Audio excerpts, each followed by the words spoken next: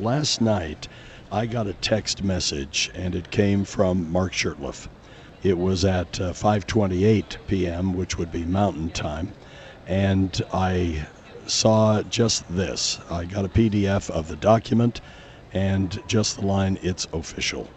And when I opened the PDF, I saw that the judge had signed that the charges against Mark Shurtleff, our former Attorney General, were being dismissed. And uh, Mark Shurtleff joins us on the line right now in transit back to Utah. And did you make it to Grand Junction, Mark? I uh, they had closed the road down that way because of rock slide, so I ended up going to Wyoming. I'm in Clare, Wyoming, right now. Yeah, you know where that is. uh, absolutely, absolutely. Hey, Mark, I've I've got to ask the question: How did you get the information? How did you find out that this had actually come about? Well, as, as soon as Judge Hruby-Mills had signed the order, and we weren't expecting it. The last time we talked to her, she said, "Well, we'll we'll address this at an August second hearing," and so it was a surprise out of the blue. But she notified uh, the attorneys immediately, sent a copy of that order, so we knew it was official, and that's what I forwarded on to you. So it was just minutes before I sent it to you that that I got the good news. I, I know we're in a in a situation where we need to be uh, a, a little cautious as to what is being said because things are still in the works. But wh- what what brought this about, Mark? Why were why did Troy Rawlings up in Davis County? Why did he move for this dismissal? Well, yeah, to bring it up to speed, obviously, uh, for three years now, I've been absolutely proclaiming my innocence, that these charges were misfiled, that they're based on false information, that what people have been reading and hearing in the news media is all a false narrative, that the charges are false, they're based on lies told by people, some people that I put in, in prison, and uh, always looking forward for the opportunity to, to clear it up. And so, as you know, my attorneys filed some very significant motions to dismiss, three in all, uh, with two other potential motions to dismiss based on uh, the, the, misconduct of the investigators and the prosecution. Speaking of Sim Gill and the district attorney's office, not Troy Rawlings, uh, and all that was before the court. You know, hundreds of pages of documents and evidence to establish the reasons for dismissal, and it, it was not opposed. Those motions were not opposed by the prosecutor. Uh, they really could not be opposed, but um, they were not, and judge uh, a week ago Friday had said, "Look, if you, uh, to the prosecutor, if you're not going to if you're not going to oppose them, then you need to let us know. You're past the deadline to oppose. You have not opposed." And in response to that, uh, 2 a.m. Monday morning a week ago, the Troy Rawlings filed his own motion to dismiss, listing his own reasons, and that was the one the judge granted. Even though we we had obviously greatly preferred that she would grant our motions, but she granted his last night, and and so that means it's over, and that's good news, and it's wonderful news. There's some issues, as you say, we still have to address, uh, particularly with regard to uh, fees and the the terrible financial situation. Uh, these three years of false allegations, charges have put on my myself and my family, um, but we will continue to look at those issues and discuss them and move forward. We're talking with our former Attorney General, Mark Shurtleff, served three terms as Attorney General. Uh, that uh, that time expired in 2013. It's interesting, Mark, that none of this really came up while you were Attorney General. These charges, allegations, things of that nature happened uh, shortly thereafter. Well, that's correct. And uh, I'm, look, I'm extremely proud of my service uh, as Attorney General. And um, regardless of what was said that I, uh, the allegations of misconduct and pay to play and all this other nonsense, which it really was nonsense. I mean, I never, I never took or solicited a bribe. Really wasn't alleged to have done so. Uh, you know, f- favoring certain people who were. I mean, look, when I get a chance to be unplugged, uh, hopefully on your show sometime in the near future, uh, I will detail why, where these allegations came from, why they were uh, these false allegations, and, and we can show them defaults, and, and we, will we'll lay all that out uh, eventually, Doug. But um, regardless of what people said, you know, the good out of all this, a couple of good, really good things. One, uh, my family, close friends, you know, all rallied together, and were very supportive. Uh, and not not just them, but throughout the last several years, I, I could be in a in a grocery parking lot or at a, at a RSL game or just about anywhere and people out of the blue would come up and just tell me that they didn't believe these charges. They thanked me for my service. That kind of stuff kept me going, and that's that's good. The other good is a great law firm, amazing attorneys who, you know, when when your attorneys feel strongly as you do about something and they let you know, that's that's what you want to hear. That's how zealous they are and how good this law firm, Snow Christensen and Martineau, is. And the other good thing is, is frankly Troy Rawlings. He, you know, prosecutors, their job is not to convict. Their job is to to seek justice, and they're as responsible for making sure that all the evidence is out there, that any exculpatory evidence is out there. They're not to bring charges unless they uh, have a substantial likelihood of proof beyond a reasonable doubt. Uh, and Troy Rawlings, to his credit, is that kind of prosecutor.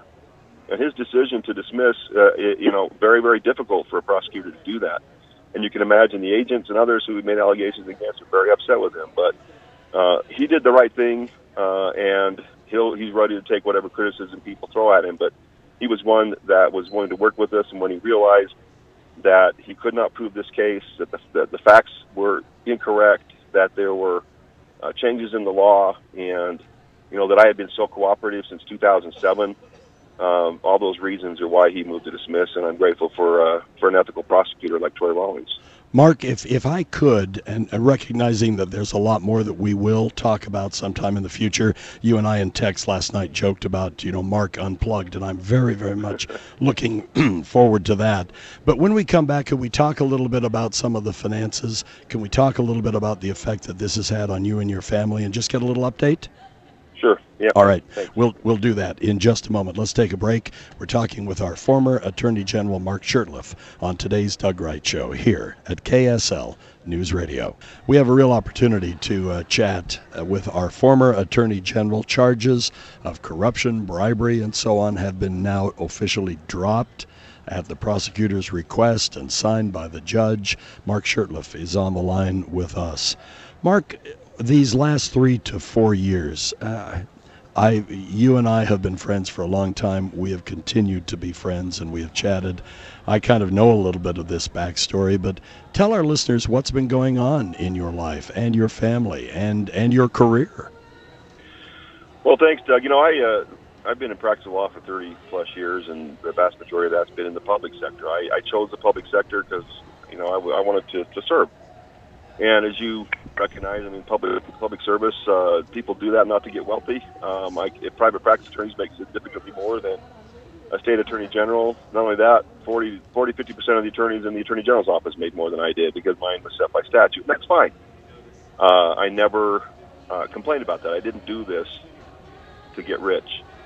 Uh, and so given, given that, and when I finally finished, I had an opportunity to uh, a great international firm to make a significant amount of money, so I could start taking care of my family, our debts, and all those other issues that you know we would like to move forward on. And then, of course, as you can imagine, when this hits, I lost that job uh, in D.C. It has made with this cloud over me, and it's such a public cloud. And anybody I talk to, potential clients, potential business opportunities everybody Googles me. I can tell many times I've been ready to do something and, and I've got a call back saying, "Oh, sorry, we just Googled you.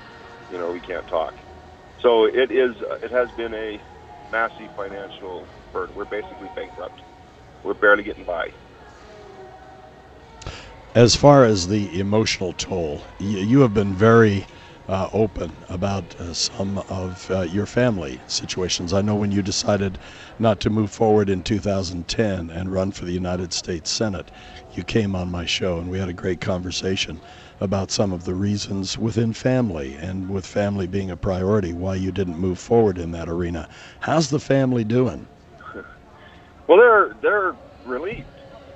You know, um, I'm a tough guy. I, I even though you know my whole life and career has been dedicated to justice and truth and integrity, and it was also that was all so important to me. When that's challenged, and in such a public and a huge way, it, it's hard personally, but it's harder on the family, Doug.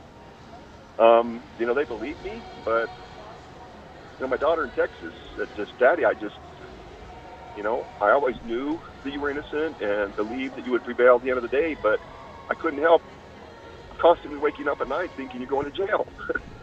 You know, it's hard. Their friends asking questions, people they know ask, and and it's tough. So there's huge huge relief there, obviously, for my family.